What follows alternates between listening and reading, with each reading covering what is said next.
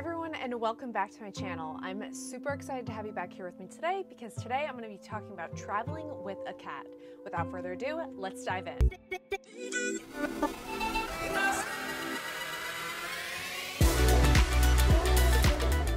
When I've had enough of your beauty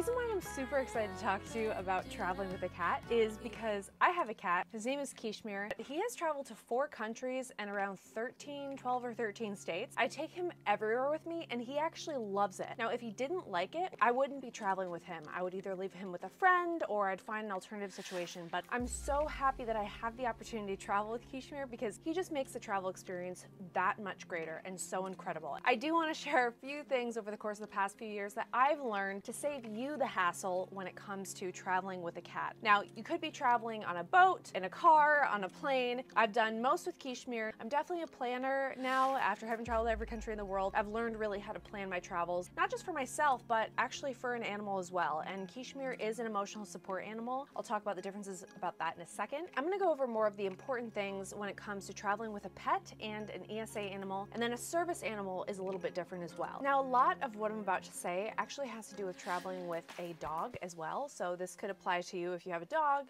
or a cat, but because I have a cat, I'm gonna be directing it more towards cats. Cats actually have a more difficult time traveling. They're not as widely accepted as dogs. And I think that's due to the fact that a lot more people are allergic to cats than dogs. So you kind of have to be really careful about that. So if you like this video, please be sure to like it and hit subscribe to be notified for future videos. All right, now I'm gonna take you guys with me on our trip to British Columbia. So let's go. Guys, considering it's pouring rain outside here in LA, it's supposed to rain all week, but this is the first day of it. It is pouring outside. I have my stuff right here. It's pretty much just this uh, carry-on suitcase, Kishi's bubble backpack, my little kind of hangy purse thing. I have a coffee here, and then I'm actually gonna just bring my umbrella and get down the stairs. I live, it takes me 78 steps to get to the driveway from my house, so kind of sucks, but is what it is.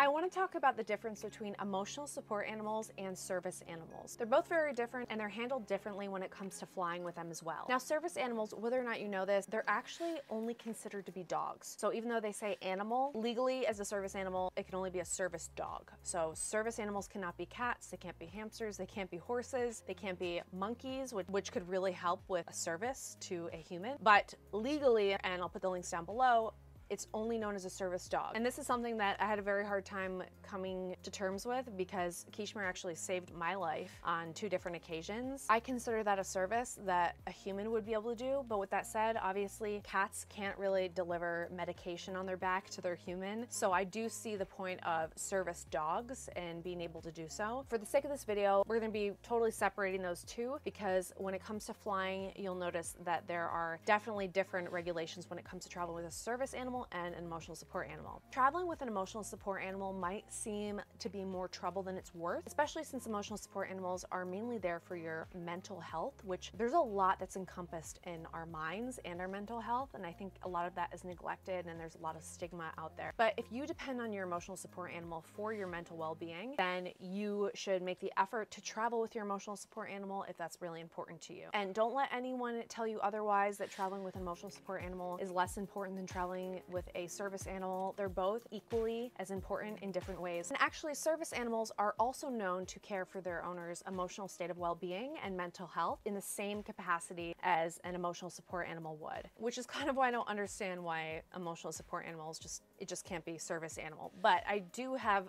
friends that actually need a service animal for their disability. And I do see how people could just say, I feel a little bit sad, and so I'm gonna bring a service animal, and then they could get priority over someone who actually really needs that service animal in order to survive, which I'm not gonna get into it because Kishmir saved my life. So we'll leave it at that. Okay, now comes the paperwork. You don't want to skimp on this. I have a really nice folder that I keep for Kishmir, clearly organized with all of his paperwork that I can whip out at any moment in time and prove that he's free of this disease, he's neutered, he has his microchip, he's legal. I mean, whatever they want to know about Kishmir, it's in that folder. And of course, I have copies on my phone in case I lose that folder, but do not skip on this. Whether or not you're an organized person, when you're traveling with your pet, just as you would with your children, you want to make sure that you are especially organized for them more so even than yourself. If the person at the front desk is asking for a specific piece of paperwork, you know exactly where it is. So trust me when I say it takes maybe like half an hour to organize all this paperwork, but it'll be so worth your time if you plan on traveling with your animal or cat specifically. So the first piece of paperwork you want to make sure to have is updated vaccination status. This will have all of his basic information, including where he lives, your email, your phone number, his name, his breed, his sex, even a little picture of him is what they included in my paperwork. And it'll also have all of his up-to-date vaccinations, which are really important. The rabies vaccination certificate, this is really, really crucial. You don't want to go anywhere without the rabies vaccination. And if the airline requires any specific vaccine, or if you're traveling internationally, they might ask for specific vaccinations to be had on your pet before they arrive. You'll also want to have their microchip information, and this is in case your animal gets lost, you know that you'll be able to find them. Whether it's on an airline or in an airport or in a new country, they don't want to assume liability for your animal if it gets lost. So a lot of the times, especially traveling to different countries, they will require microchip. I know for Bermuda they did, and for Mexico they did. So really important that you have that. Another important one, obviously, is your therapy letter. It's an emotional support animal or a service animal. You want to have that documentation. Kishmir has a therapy letter from my therapist, as well as an ESA card and certificate. And I have to renew that every single year. It's like $150. It's a pain, but it's worth it because I travel a lot with him. And so you want to have that therapy letter on hand and updated. Make sure it's up to date. Every year you'll have to update it with your therapist. And if it's out of date, then they won't let you on the plane with him as an ESA. They will let you on the plane with him if they have room as traveling with a normal pet. So you'll have to pay like $150. I've had to do that before, but they won't let you on with an ESA if you don't have that letter. And I do want to say that most times airlines will want to check this paperwork, even though you submitted it in advance, they'll want to check this paperwork once you actually get there. And that's the importance of arriving early to ensure that they can look over all this paperwork and make sure there's no inconsistencies. And then this isn't super essential, but I bring it anyways because you never know. I bring his spay neuter certificate. It just shows when he was spayed and that he's spayed. Sometimes when you're traveling to another country, in case your pet does run away and then repopulate, and then sometimes it gives them peace of mind to know that. And sometimes they will ask for it, so I bring it anyways. I also bring his ESA certificate, his ESA card, and his pet passport, which we actually haven't had the chance to use. I got it right before we traveled to Canada, and I actually asked Border Control if they would stamp it. And of course they said no. So if you do have a pet passport and you're able to get that stamped in foreign countries, let me know because it has not worked for me so far.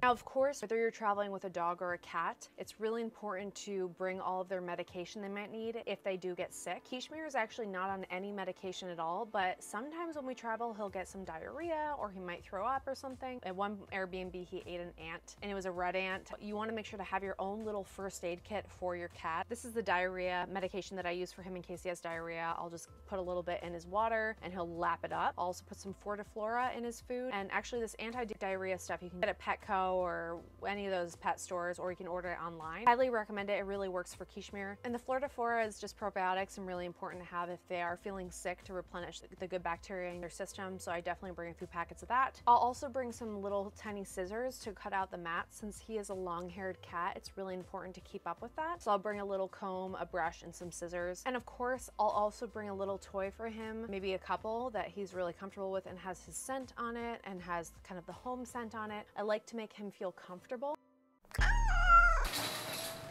One thing I also do before I leave is after he uses the litter box for the very last time before we leave, I make sure to clean his litter box and make sure that when we get back, it's a fresh, clean litter box, properly clean, and I can just pour a brand new litter on there because when we get back from a long travel day, pretty much the first thing he does is use the litter box. Now I also bring my own travel litter box for him as well as litter on the side. And actually right here, I have his litter box.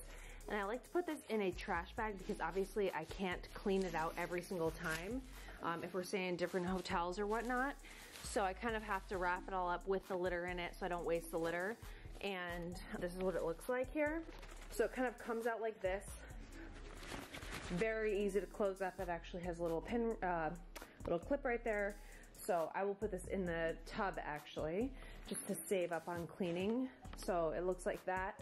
And let me just show you what I do here with the litter. Well, Kishi, come on. Come on. So usually I will put the litter in the shower. This is actually a nice size shower. I'll take it out usually before I have a shower. but just this just saves up on cleaning costs. All the litter is flushable and everything, so I will just put this in here and do this one-handed. so I obviously keep this in two bags. This is the amount of litter that I do bring. Just to give you a size, it's about like almost half filling the litter box. So essentially I just dump it right on in and this is fresh, clean litter, fresh, clean litter box. You always wanna travel with a clean litter box because um, when you're traveling, they can pick up mites or whatever it might be. Just make sure to always travel with a clean litter box and some clean, fresh, new litter. This litter is unscented. I don't like the scents that like litters leave behind. So I will just put these bags right here because I'll use them again. And that's his litter. Right, Baba? Right? He always knows exactly where it is. He sniffs it out to make sure. Right, you're such a good boy. So that litter box is washable. So before every trip, I'll be sure to wash it and make sure it's properly cleaned before our trip. Nothing like a fresh, clean litter box to travel with. And kind of the same thing goes with his dishes as well. Before we leave the house, I'll be sure to put his water and food dish in the sink and clean it out and lay it to dry so that when we get back home, I can just easily fix him some food and water. And same with his travel dishes. So I always want to make sure these are clean before we travel. Now these are really cool, compactable dishes. I wish they were like white, but they make do and they're really compactable and great for carry on. I'll put the link down in the description box below for all this stuff and I just make sure that these are really clean because obviously when you have food and water in there, the bacteria can accumulate and you don't want your pet to get sick so you just want to make sure that these are as clean as possible at all times. His food I will put not near the litter box. You're not supposed to do that. I'll, you know, put it right here. Yeah, he's ready for some food, some dinner. I know. All right, so always make sure to double bag your food just in case of mites or whatnot while you're traveling. It just keeps everything more sanitary. And I always put his, you know, scooper in here to make sure I know exactly how much I'm giving him. He has about half a cup of food he has a day. He, if he eats more frequently, but a little bit less each time, then it keeps his metabolism up and I just find that he has less gas and everything. So right, Baba? He hasn't eaten though since this morning very, very early, so I'm giving a little extra. It's really good to keep your cat's diet consistent to what they have at home so that they don't freak out and try to eat as much food as possible because they don't know when their food's gonna come. You know, they should feel like they're at home. He's traveled enough to where he knows when he's getting food. He knows that there's gonna be a lot of food there in case he needs it. So um, he'll only eat to satiety. And then if he's a little bit more hungry because it's been longer than usual, then I'll put a little bit more in his dish.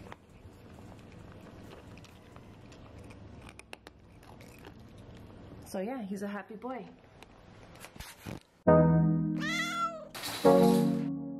Now, before flying somewhere, you want to check with the airline to see what sort of restrictions they might have, whether you're traveling with a pet or an emotional support animal or a service animal. There's always going to be some sort of restriction or some sort of documentation needed for any of those things. So I think when it comes to airline travel, it's really important to pay attention to those rules and regulations that each and every airline has, because if you don't, then you're going to have a lot of hassle once you arrive, and it's better to just save all that hassle and have everything prepared in advance. When it comes to a pet in cabin, not an ESA or service animal, you'll likely have to pay a fee. It's around usually 100 to $150 per pet traveling in the cabin with you. Now you can't take the pet out of its carrier when you're in the airport or when you're on the plane. Another restriction I found with traveling with a pet, uh, not ESA or service animal certified, is that the airline only has a certain amount of space on the flight for pets. So it might be three pets per flight, might be two, might, might be five, but it's really important to check beforehand, at least a month in advance. If you're booking last minute, minute, it might be tough to get your pet on that flight because they might be already full of people traveling with pets. You really want to make sure to schedule this in advance with the airline to kind of put your pet's name in there and let them know that you are traveling with a pet so that you can be counted as one of the passengers that will be traveling with a pet. Because oftentimes they won't let you fly if the plane is already at their max of pets traveling with their owners. As much as possible, you want to avoid traveling with your pet when they're down in the cargo area. It's just not safe or healthy for them, in my personal opinion. When it comes to emotional support animals and service animals, they actually have to travel in the cabin with you because they're there for serving a specific purpose for the health of their owner. However, if you're traveling with a pet that don't have those certifications, sometimes they might say that the pet has to go down in cargo. And especially for international flights, if you can get past that, great. But that's sometimes the case I've found with a lot of flights. I know that because I will bring up that I'm gonna be traveling with a pet and then they'll say, oh, well, that your pet has to travel in cargo. Then I say, oh no, he's an ESA. They say, okay, they're allowed in the cabin. So just make sure to check that.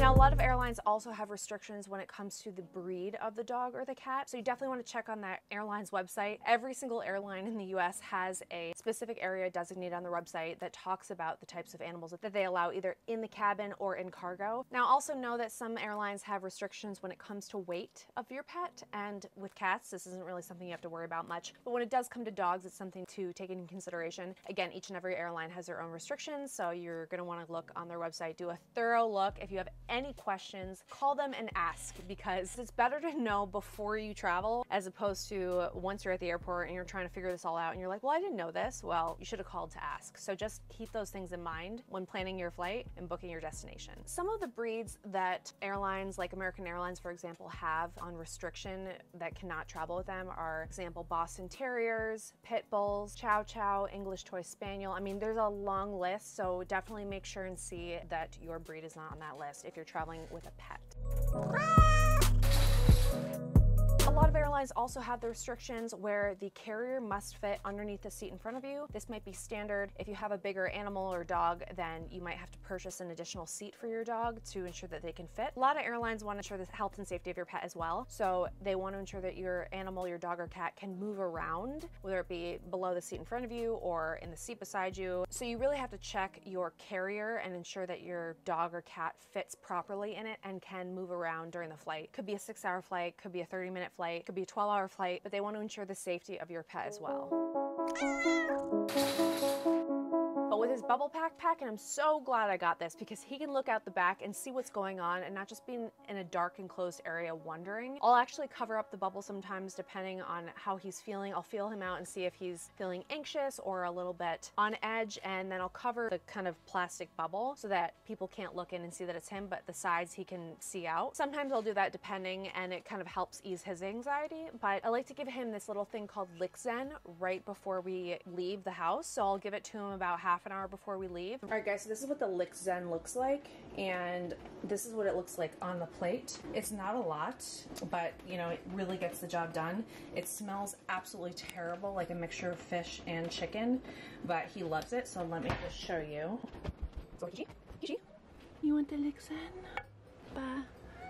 I'm aware. Oh my gosh, but you have to eat it. You want to too, you love this stuff.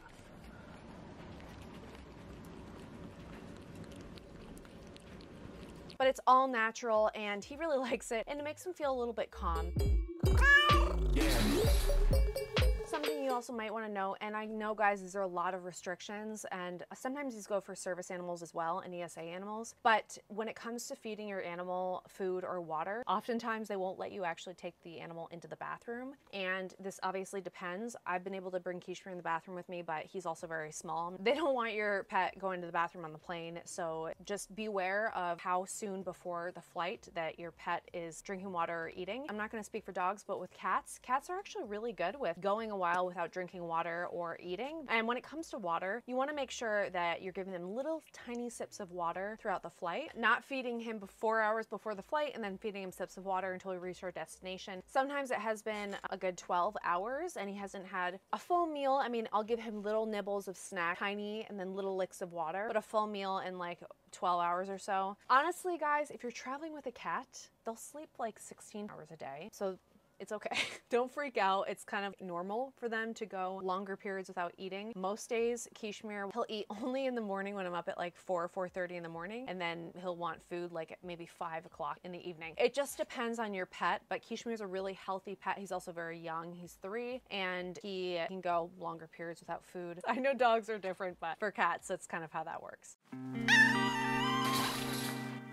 This goes without saying, but if you're traveling with a pet, whether it be a pet, ESA, or service animal, you want to ensure that you arrive earlier to your gate, even if you're not checking any bags, because it can take a little bit longer than usual. If there's something out of place with the paperwork, you want to ensure to have that extra time so that they can look into it and make some phone calls. Trust me, learn from my mistakes. I've been there, done that, where I've actually not even gotten on a flight because something was messed up with the paperwork. It ended up being okay, but they just overlooked something and I was really short on time, so I was rushing and it just was a huge mess. So ensure to arrive at least four hours before your flight if you're traveling internationally. I know it's a lot of time and I'd say two hours if you're traveling domestically just to be really sure. Now, every animal is different, but Kishmir absolutely hates being in the airport. He doesn't like all the people around him. He's not a huge fan of the security, like the conveyor belt and everything and all the noise. It's actually my least favorite part of traveling as well is the airport. So we're both kind of in the same similar situation there. I also want to note that yes, while every pet is different, my personal experience with traveling with Kishmir is he gets a little bit of anxiety in the airport and through the security, but once we're on the plane, he actually, he's calmer than I am. So he sleeps the entire flight flight. Doesn't matter if it's 30 minutes or eight hours, he'll sleep the whole flight. For some reason, he finds the, the planes really calming for him and that's just him. So when I give him Licks Zen in the morning, that's usually the only time I have to give him it, unless it's right before we enter the airport or while we're in the airport. As opposed to dogs, you don't just want to take your cat out, especially if there's people beside you that you're sitting next to who might be allergic to cats or severely allergic to cats. You want to be respectful of them. As Kishmir is an ESA animal, I can take him out of his bubble backpack during the flight. However, if he were a pet, just traveling as a pet, then I would not be able to take him out during the flight. But whenever I do take him out as an ESA animal, the flight attendants know that know that as well. But in case they don't, you, you can definitely remind them, hey, this is my ESA animal, and they'll be okay with you taking him out. Now, this actually might vary on international airlines and international flights, but in the US, it's actually legal to take an emotional support animal out of their carrier during the flight. But I would just be aware of your seatmates. Honestly, if you're not really a cat person or if you're allergic to cats and the person sitting next to you that close to you whips out their cat and then there's hair everywhere that lands in their salad. I'm always very aware of that. So I make sure that the people beside me want to pet him or want to say hi or they don't mind.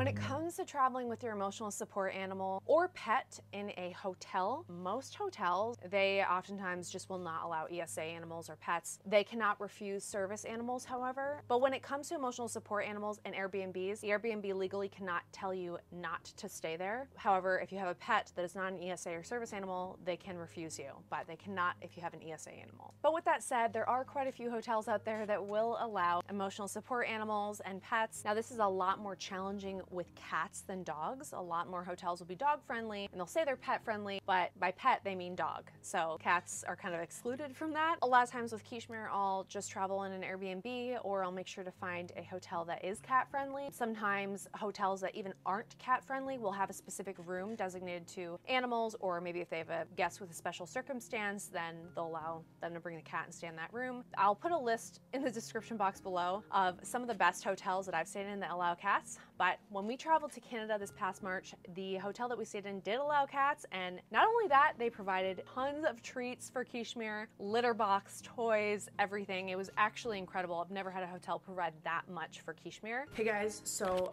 we have just arrived at our hotel here in Kamloops. That is Kishi. This is the Delta Marriott, and they've been so nice. Look at the gifts that they gave Kishi right here. First of all, this is a big litter box and these are all little treats, play toys, a scooper, litter, a little toy. I mean, seriously, they literally pulled out all the stops. I've never had any hotel do this for Kishi. Another great hotel was the Four Seasons in Scottsdale, where Kishmir and I stayed, and they openly, happily accepted cats, which I was so thrilled about. Another one was the Embassy Suites in Boulder, and they loved having Kishmir there. So there are quite a few. You just have to do your research and be sure to call because even though they say they allow pets, oftentimes they won't allow cats, and sometimes certain specific species of dogs as well that they won't allow. So be sure to call and check in advance. It's better to do that than to arrive and be completely blindsided and have to change your plans completely. A lot of the island nations will not allow you to travel there with your pet unless you're actually moving there. So Iceland, for example, is a country that I will probably never go to again unless I can bring Kishmir with me and I, I don't I won't be able to. I know they, they don't allow traveling with pets there. It might change in the future, but also Australia, unfortunately, I mean they're gonna have to quarantine your animal for like a month and if you're only there for a couple weeks then it's there's no point. So that's kind of a country that I probably won't be traveling to in Kishmir's existence. So it's like another 15 years. I'm fully okay with that. I've been every country in the world. Of course, I'm extremely lucky to say that and to have been every country in the world and to not really need to go back to places where I can't travel to with my emotional support animal. He's become so important to me at this stage in my life. And those of you who have an ESA animal or a service animal who help you get through life, then you'll kind of understand what I'm talking about. I know for a lot of people it can sound bogus to talk about an animal this way, but for many of us who suffer from depression and anxiety, an emotional support animal or a service animal is kind of like how we're able to get through life properly.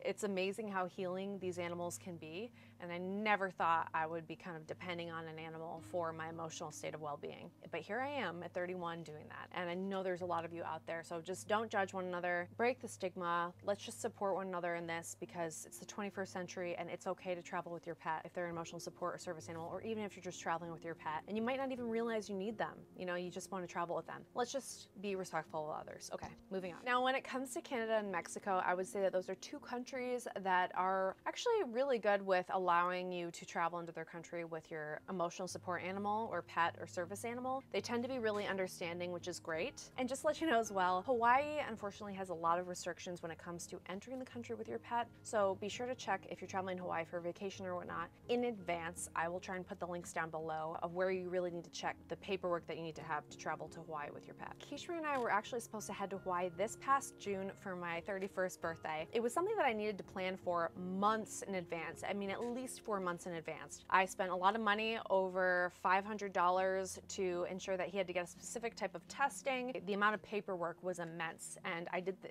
everything by the book. He got all his shots. It was the rabies that they had to check for. They're actually rabies free in Hawaii. They tested him and that test was really expensive and it turned out that he didn't have it. We were approved, but then pandemic happened and we had to cancel the trip and now if I want to bring him to Hawaii, we're gonna have to go through that entire process all over again. Probably not gonna be till next year, but it is worth it. I would say you really love your pet and if they actually help you and, and really mean something to you, then honestly going through this process isn't that big of a deal because it'll be so worth it when you can both arrive in that destination happy and healthy and have an awesome experience.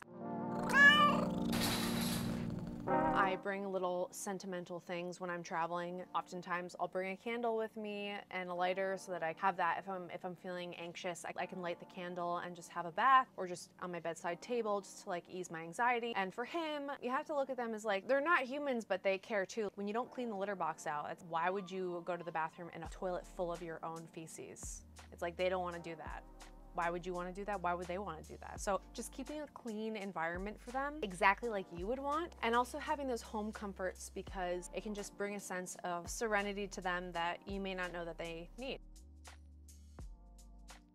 Thanks so much guys for watching. I really enjoyed making this video for you. If you liked it, please give it a like as it really supports my channel, of course. Hit the notification bell as well to get notified when I post new videos, and I will see you guys in the next video. Bye.